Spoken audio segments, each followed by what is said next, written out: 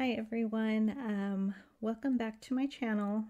So I thought I would do a voiceover today. So today we're going to be doing some ink blending using a shamrock stencil from scrapbook.com. And then I have, um, so Distress Oxide ink um, is in Picked Raspberry. And I'm just using my Cottontail blending brush and I'm going to ink blend this whole panel with just this color. Um, so I thought I would make a St. Patrick's Day card. I had just got this stencil, so I was really excited to use it. And uh, I thought it'd be really pretty um, to make some of these cards. I do have um, a friend who lives in I uh, she lives in Ireland, so usually I send her a St. Patrick's Day card or a memory decks card. So um, this cardstock is 110 um, Georgia Pacific cardstock. So that so I'm going to place the stencil over and I'm going to use some um, neon neon glitz gel. Sorry, it's backwards. Electro Pop. So this gel, I haven't had it for too long. I've used it, I think, only one time before this, and it's already dry. So I have a hard time blending it over. Um, so I'm kind of pushing hard there, trying to get it in the crevices. I do get my other blending tool. Um, can't think of the name of it, but you'll see.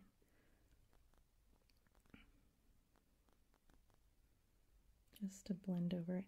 So my go-to colors are usually pink, um, green, black, and gold for St. Patrick's Day.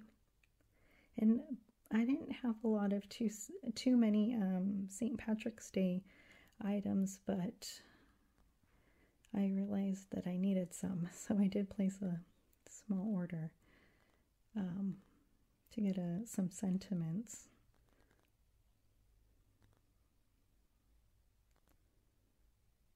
And I don't see too many shamrock stencils, so when scrapbook.com had this one, I was like, I had to get it.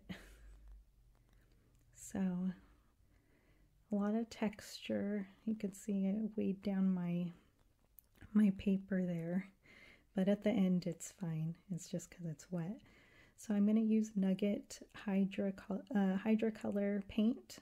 And I'm just going to use a little bit of water and splatter some of that over my panel. The dye I used for my A2 panel is from the Greenery So just a little bit of splatter there. I like the shine that I get from these Hydrocolor paints and they're on Etsy. I will link them in my description box. It's a really pretty. So from scrapbook.com, I'm using uh, metallic pigment ink, gold pigment ink, pigment ink sorry, I can't even say it, pigment ink. so um, I'm just using a sponge dauber and I'm just going to ink blend it over this scallop circle that's from Sunny Studio. If you've seen my recent haul video, that's these dies that I'm using, these scallop circles here. So I thought I would just um, ink blend it in gold and then you'll see that my larger scallop is going to be black. So it's a little light.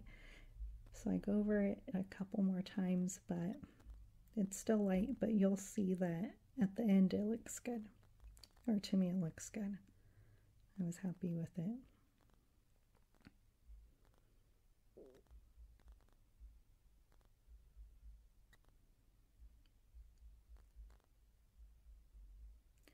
Okay, so there, there it is. I heat, I heat embossed, stamped and heat embossed the sentiment.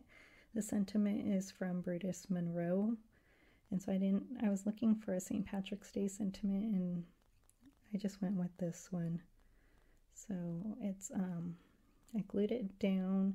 I do have some foam tape in between the circles. And I'm just using my glue here, liquid glue. I'm starting to really like this glue now. I did order the refill. And then this is a black heavyweight A2 card base.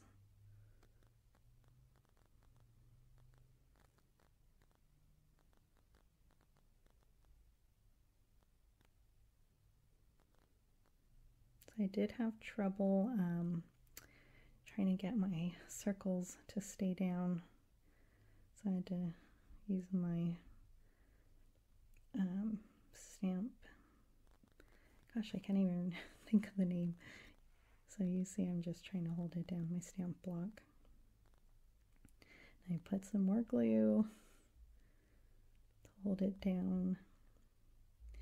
Now I'm just adding some gold sequins.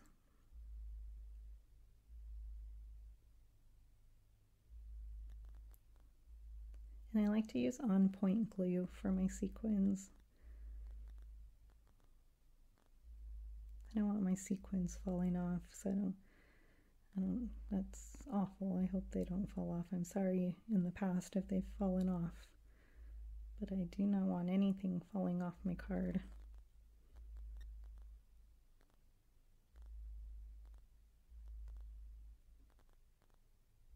I always feel bad too if I receive a card and a sequin falls off. Like I feel bad. I try and glue it back on.